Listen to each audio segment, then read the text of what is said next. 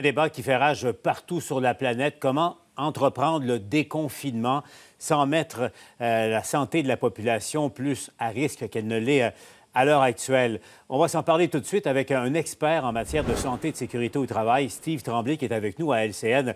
Bon après-midi, M. Tremblay. Bonjour, M. Larocque. M. Tremblay, je sais que euh, c'est votre travail à vous. Là. vous on me dit que vous venez de euh, donner une conférence, un séminaire à, plusieurs centaines d'employeurs de la construction, là, parce qu'on sait que ça redécolle lundi. Moi, ça va se faire, M. Tremblay? Est-ce que ça va être le, Far West où il y auront des règles à observer dans, dans la construction résidentielle? Non, la première chose qu'il faut dire vraiment aux gens du secteur de la construction et à tout l'ensemble des travailleurs dont on réouvrira l'économie au fur et à mesure, il faut tout de suite se mettre dans la tête que la manière dont on travaillait avant le 12 mars, ce sera plus jamais ça, tant et aussi longtemps qu'on n'aura pas trouvé un antiviral sûr ou un vaccin sûr. Donc, il va falloir prendre le temps d'appliquer les mesures euh, imposées par la Direction nationale de la santé publique et de la CNESST. Ce sera plus comme avant, c'est possible, mais il va falloir s'en tenir à ça. Si on ne respecte pas ça, vous allez voir que dans deux semaines, on va réattraper le haut de la courbe, ce ne sera pas trop long, puis on va devoir refermer tous ces secteurs-là et on va être pire qu'on était avant. Donc, ça va fonctionner parce que depuis le 12 mars, vous savez, euh, les gens qui occupent des postes euh, pour les services essentiels, ils travaillent ce monde-là. Là. Euh, ils ne sont pas tous contaminés, puis c'est pas tout le monde qui sont malades mm-hmm. parce qu'ils travaillent. Ça se fait, à condition qu'on respecte les mesures qui ont été mises en place. Bon, alors dans, la construction, est-ce qu'il y aura... Il y, a, des mesures, là, je le sais, il y a des consignes qui sont données, mais est-ce qu'il y a quelqu'un qui va vérifier que les entrepreneurs respectent ça? Oui, c'est le devoir et les obligations par la loi santé et sécurité au travail que l'entrepreneur ou l'employeur veille à ce que la santé et la sécurité de ses travailleurs euh, soient euh, suivies et respectées. Donc, la distance physique de 2 mètres doit être respectée de la part de tous. évidemment, il y a des travaux qui nous obligent à être plus près de 2 mètres parce que le travail le commande. Dans ces cas-là, il faut porter les équipements de protection obligatoires. Quand on parle d'équipements de protection obligatoires, ce sont les gants, les masques et les lunettes protectrices. Si on n'a pas ça, on ne peut pas travailler à moins de 2 mètres les uns des autres.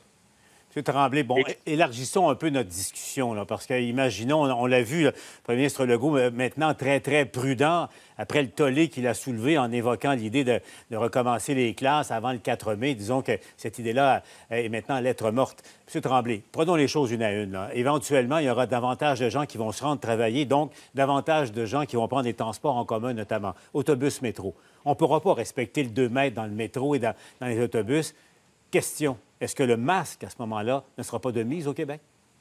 Oui, monsieur, ça va, devoir être porté. Vous savez, en janvier-février, on en avait des beaux spécialistes, des bons spécialistes, entre guillemets, qui nous disaient Inquiétez-vous pas au Canada, on ne vivra pas, la situation va être quasi nulle. Le risque, là, il n'y en a presque pas. Vous voyez maintenant, aujourd'hui, qu'est-ce qu'on vit, là? C'est vraiment pas du tout ce qu'on nous prévenait en janvier-février. Donc, oui, il faut le porter. Euh, c'est les seuls responsables de sa propre santé, sa propre sécurité. C'est pas vrai que c'est le gouvernement, c'est pas vrai que c'est la santé publique. C'est chacun nous-mêmes qui sommes responsables de notre propre santé, notre propre sécurité.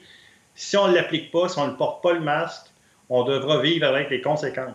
Parce que vous savez qu'à Québec, euh, le directeur de la santé publique était, est très réfractaire à cela, mais pour vous, je, je, appelle à votre opinion d'expert, est-ce que ça devrait être obligatoire à compter de maintenant ou au, cours des, du déconfinement, obligatoire pour les, gens qui ont à se déplacer et, à se trouver plus près de, de deux mètres les uns des autres?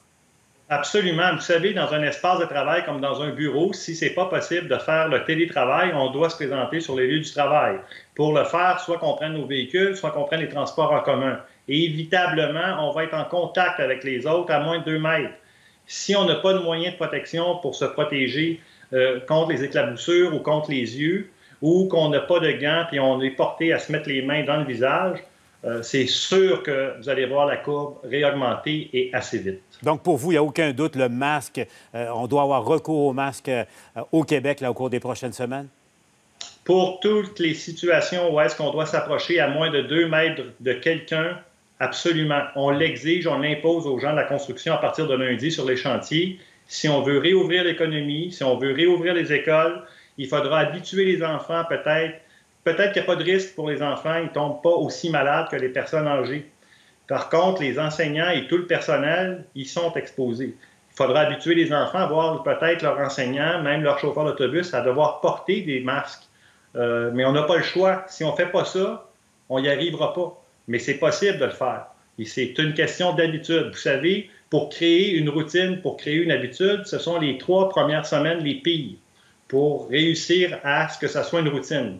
Donc, si on est très vigilant et on le fait pendant trois semaines de façon euh, très, très disciplinée, ça va devenir une habitude par après et ça va devenir facile pour tout le monde. Mais il faut, faut le faire. Parce que je regarde, M. Tremblay, ailleurs dans le monde, lorsqu'on on déconfine, on reprend l'activité, les Asiatiques portent à peu près tous euh, un masque. New York le recommande, le gouverneur Cuomo aussi. Donc, on ne pourra pas s'éviter ça au Québec, c'est ce que vous dites? C'est bien, on, on, nous a peut-être dit ça au début parce qu'on manquait de matériel. Je pense que si on veut réouvrir l'économie dans un secteur beaucoup plus large, attendons au moins d'avoir des équipements de protection pour tout le monde. Sinon, euh, vous risquez de devoir réengorger les hôpitaux et de revoir la courbe monter et, assez vite.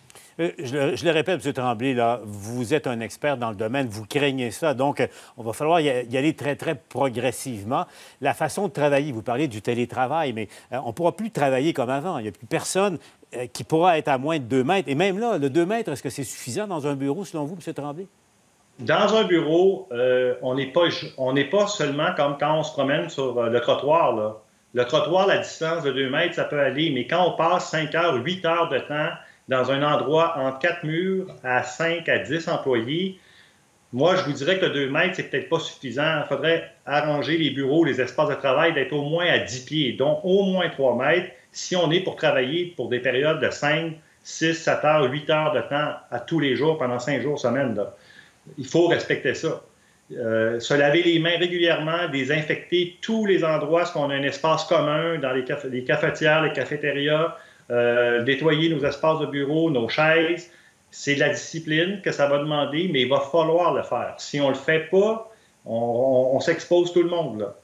Sinon, sinon, ben, réouvriront pas, rouvriront pas l'économie pour rien. Si on est pour infecter plus de gens, puis que ces mesures-là font que ça se propage encore plus, euh, on va devoir euh, revenir en arrière, puis tous les efforts qu'on va avoir faits jusqu'à maintenant en étant confinés, ça leur a rien donné. Là. Puis oui, l'immunité collective, euh, c'est un beau concept, mais dans la réalité, avec des gens qui ont eu peur ou qui ont encore peur, euh, c'est des affaires à prendre, c'est des choses à prendre en considération, puis on n'y est pas avec ça. Il faut le faire, puis il faut se discipliner tout le monde. Steve Tremblay, je vous rappelle, est un, consultant, un expert en matière de santé et de sécurité au travail. Merci, M. Tremblay, d'avoir été avec nous. Euh, Merci.